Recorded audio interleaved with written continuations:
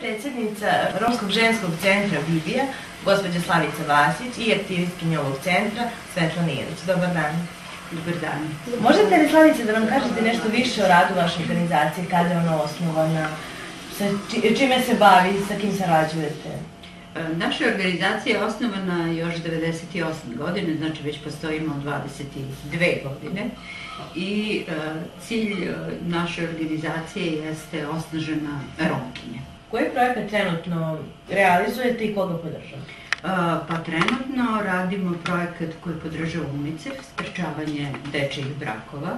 Ovo je druga faza projekta u kojem učestvujemo. U prvoj fazi smo imali istraživanje, svi zajedno, i organizacije iz Novog Bečeja i iz Pirota, i radimo ga u osam naselja ovde u Beogradu i prva faza projekta jesu bile radionice i 15 devojaka je išlo na razne kurseve koje same izaberu.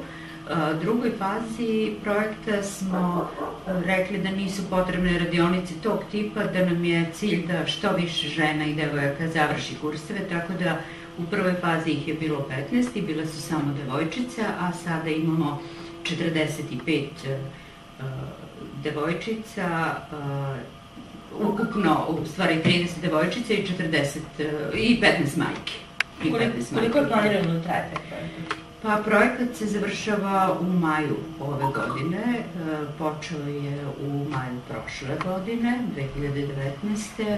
i uglavnom se znači fokusira na ekonomsko osnaživanje Romkinja. Pa osnovni cilj projekta jeste sprečavanje znači dečijih brakova u romskoj populaciji. Svi znamo koliko se često dešavaju dečiji brakovi u romskoj populaciji. 57% devojčica romske nacionalnosti se ude pre 18.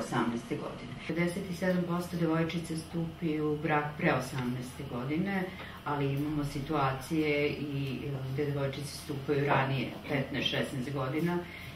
U jednom naselju na Čukarici smo imali devojčice koja se udala sa 11 godina. Treba uključiti celu porodicu, celo društvo, treba uključiti većinsku populaciju. Ovo nije problem samo romske zajednice, ovo je problem države i država treba da greši. Ova koalicija koja je osnovana nacionalna treba da se pozabavi ozbiljnim tim problemom, jer mi kao nevladine organizacije rešavamo problem, ali ne možemo samo da ga rešimo. Znači treba institucije da se uključe i policije i centar za socijalni rad i škole i svi treba da budu uključeni u, u rešavanje ovog problema i naravno i dalje e, tvrdim da e, treba kažnjavati e, sve one koji učestvuju u, dečijem braku, jer kad govorimo o dečijem braku, mi govorimo o kršenju dečijih prava, a ne treba nam ni jedan zakon koji u Srbiji da se donese novi, imamo Međunarodnu konvenciju o dečijim pravima i samo se treba pridržavati te konvencije i nju implementirati i ne bi dolazili do, do dečijih brakova. Da li ste imali neku konkretnu situaciju što se tiče dečijih brakova u nasilju?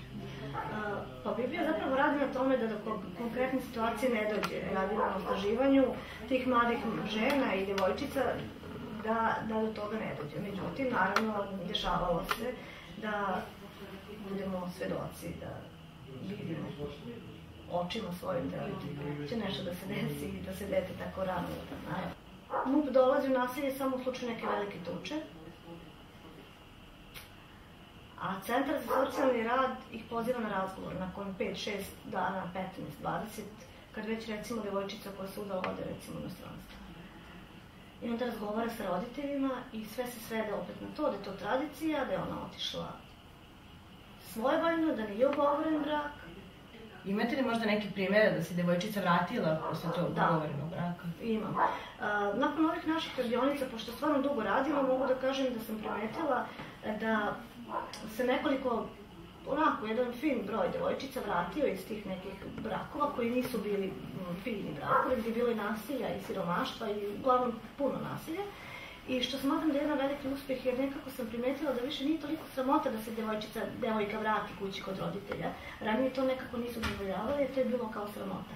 Sada su roditelji malo snaženiji i, i stvarno čak i e, dešavalo se da majka nagovori i otac svoju čerku, nemoj da trpiš, nasilje, nego se vrati, imaš gdje da se vratiš. A to je pre nekoliko godina, desetak, bilo onako da ona mora da trpi i da prosto se udala i da to deo njenog života i da je to normalno. Sada se to promenilo i mnogo mi je drago zbog toga. Smatrate li da je to vaš rezultat? Da, smatram. I moji, i mojih koleginica i drugih nevladinih organizacija, naravno. Po tvom mišljenju, na koji način ovaj projekat doprinosi poboljšanju položaja Romkinja? Pa na taj način što ih obrazujemo i edukujemo i e, pomažemo da budu ekonomski nezavisne i da se zaposle umesto da se udaju i stupe tako mlade u brak.